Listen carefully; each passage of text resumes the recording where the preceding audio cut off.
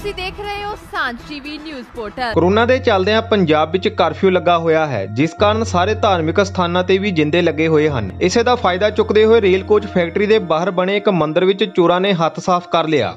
ਚੋਰਾਂ ਦੀ ਇਹ ਸਾਰੀ ਵਾਰਦਾਤ ਮੰਦਿਰ ਵਿੱਚ ਲੱਗੇ ਸੀਸੀਟੀਵੀ ਕੈਮਰੇ ਵਿੱਚ ਕੈਦ ਹੋ ਗਈ।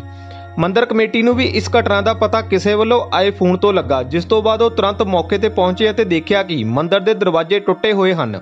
ਅਤੇ ਚੋਰ ਮੂਰਤੀਆਂ ਦੇ ਗਹਿਣੇ ਅਤੇ ਗੋਲਕ ਦਾ ਦਾਨ ਲੈ ਗਏ ਹਨ ਜਿਸ ਦੀ ਕੁੱਲ ਰਾਸ਼ੀ 1 ਲੱਖ ਦੇ ਕਰੀਬ ਬਣਦੀ ਹੈ दो बजे के करीबन हमें पिछले दिनों पता चला कि यहाँ पे दो मिसक्रिएंट्स दो चोर घुसे किसी रा- हमें अ, इस गौशाला के केयर टेकर ने बताया इसके बारे में इन्फॉर्मेशन दी जैसे ही हमें इन्फॉर्मेशन मिली हमारी श्री सनातन धर्म सभा और मैं भी वहाँ पहुँच गया था पुलिस को इन्फॉर्मेशन दे दी गई पुलिस की टीम यहाँ पे आई उन्होंने सीसीटीवी फुटेज देखी सीसीटीवी फुटेज देखने से पता चलता है क्योंकि मंदिर लॉकडाउन था due to this ongoing corona virus calamity through the world तो उन्होंने पहले ये सत्संग हाल का शटर तोड़ा।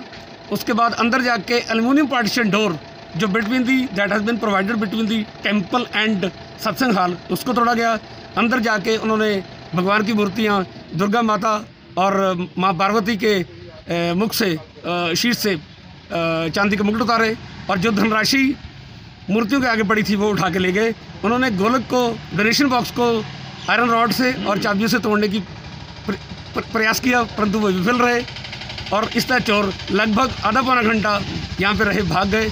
इससे आरसीएफ में रहने वाले धर्म प्रेमियों की और इर्द गिर्द के गाँवों के धर्म प्रेमियों में बहुत भारी रोष है, क्योंकि पुलिस ने एफआईआर तो लॉन्च कर ली है, अभी ये भी पता चला है, लेकिन दोनों ही मिसक्रिएंट्स को दोनों ही दोषियों को अभी तक अरेस्ट नहीं किया गया ਘਟਨਾ ਦੀ ਸੂਚਨਾ ਮਿਲਦੇ ਹੀ ਪੁਲਿਸ ਮੌਕੇ ਤੇ ਪਹੁੰਚ ਗਈ ਅਤੇ ਜਾਂਚ ਵਿੱਚ ਜੁਟ ਗਈ तो तीस जारी मुकदमा दर्ज करता जी ਹਾਂ ਸੱਤਰ ਨੰਬਰ ਮਿਤੀ 4420 ਕਿੰਨੇ ਲੋਕ ਸੀ ਸਰ ਕੁੱਲ ਉਹਦੇ ਚ ਦੋ ਜਣੇ ਮੂਵੀ ਚ ਆਏ ਆ ਜੀ ਅੱਛਾ ਤੇ ਤਫਤੀਸ਼ ਜਾਰੀ ਆ ਕੋਈ ਸਰ ਉਹਨਾਂ ਦੀ ਪਹਿਚਾਣ ਹੋਈ ਕੌਣ ਸੀ ਲੋਕ ਪਰ ਇਹ ਸਰ ਲੋਕਡਾਊਨ ਦੇ ਦੌਰਾਨ ਸਾਰਾ ਕੁਝ ਹੋਇਆ ਮੂੰਹ ਬੱਧੇ ਹੋਏ ਸੀ ਰੇਲਵੇ ਲਾਈਨ ਤੇ ਮੰਦਿਰ ਆ ਜੀ ਹੂੰ ਰੇਲਵੇ ਲਾਈਨ ਵੱਲ ਦੀ ਆਏ।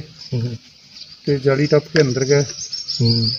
ਤੇ ਉਹਨਾਂ ਨੇ ਇਹ ਚੋਰੀ ਸਰ ਕਰਫਿਊ ਦੌਰਾਨ ਹੀ ਹੋਈ ਹੈਗੀ। ਹਾਂਜੀ ਕਰਫੂ ਦਰਾਉਣੀ ਹੋਈ ਜੀ। ਕਪੂਰਥਲਾ ਤੋਂ ਨਰੇਸ਼ ਖੋਸਲਾ ਦੀ ਰਿਪੋਰਟ। ਤੁਸੀਂ ਦੇਖ ਰਹੇ ਹੋ ਸਾਂਝ ਟੀਵੀ ਨਿਊਜ਼ ਪੋਰਟਲ।